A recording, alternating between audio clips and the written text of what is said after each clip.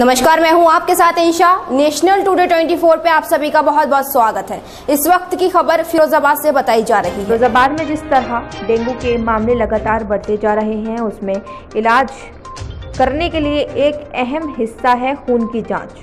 फिरोजाबाद में डेंगू का कहर इतना ज़्यादा फैल चुका है, डेंगू का प्रकोप इतना छा चुका है, लोगों को काफ़ी डर सताने लगा है। बुखार आते ही लोगों को डेंगू होने का डर लगने लगता है। और डॉक्टर भी वही जाँच के लिए लिखते हैं।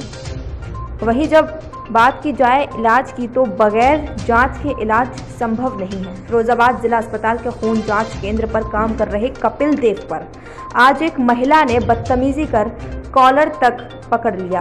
बात सिर्फ़ इतनी होने पर ही नहीं रुकी। उसकी जाँच सबसे पहले करा दी जाए।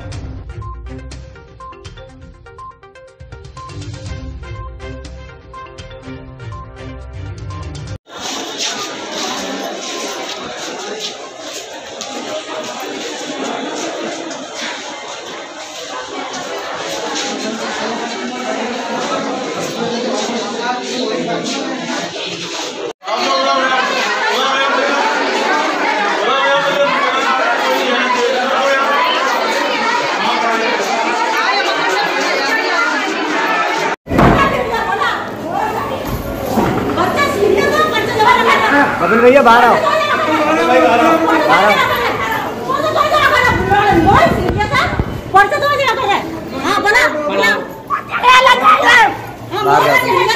बाहर हटो तुम।